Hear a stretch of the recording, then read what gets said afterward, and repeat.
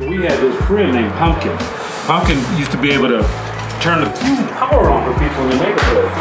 He'd go back there and do something with the box. So Pumpkin went around there to turn the electricity on for his mom. All we heard was a ah. Ten minutes later, Pumpkin come around the house. I swear to God, the guy was smoking.